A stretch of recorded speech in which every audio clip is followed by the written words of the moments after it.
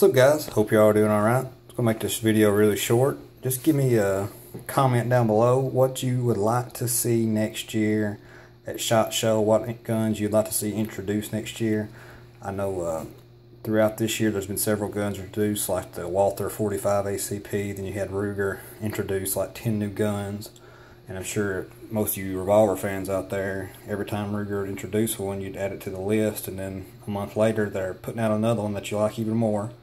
But today they come out with a Ruger GP100 10 shot 22, and uh, that is a sweet gun, and I'd love to have it. But uh, what I'm really wanting, I've had my mind on for a while because I love this little LCR so much because I carry it every day. Uh, I've got a new holster coming in for it, but uh, I carry this every day. I love this gun and I know they made a 3-inch barrel version. It's a little bit bigger than this. Uh, I think the grip's a little bit longer too. I've never held one. I've just seen one at the pawn shop. But they only made it in 38 special. So I'm sure through the demand of these little LCRs, since they've already got the 327, 357, and 22 and 22 mag in the smaller version, I bet that next year they're going to update that into the larger version, 3 inch, maybe, hopefully, extend that barrel on out to four inches. So could you imagine a three or four inch little kit gun as light as these jokers are with a six, eight shot 22 in an LCR polymer frame? I think that'd be like the ultimate fishing, hiking gun. Something light, summer wear if you want to just go out ride wheelers or whatever. You ain't worried about scratching up your nice stainless. You just got your old polymer gun with you.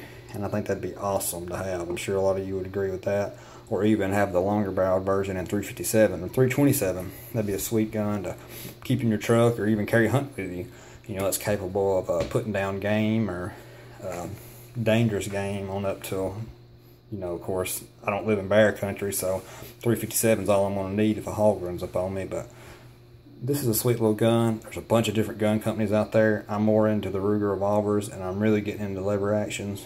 But uh, usually lever actions they don't come out with nothing new. I mean, they got the same stuff and they're going to sell regardless. But Ruger keeps on coming out with stuff. There's so many guns that just keep pumping out.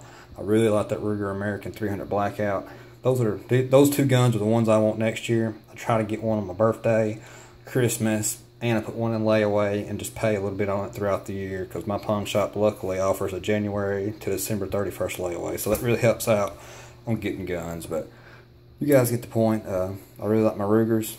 Leave a comment down below. It ain't got to be Ruger. It can be SIG or any gun brand. Just tell me what you plan on buying next year or what you hope that they introduce that you would like to see and that you would buy.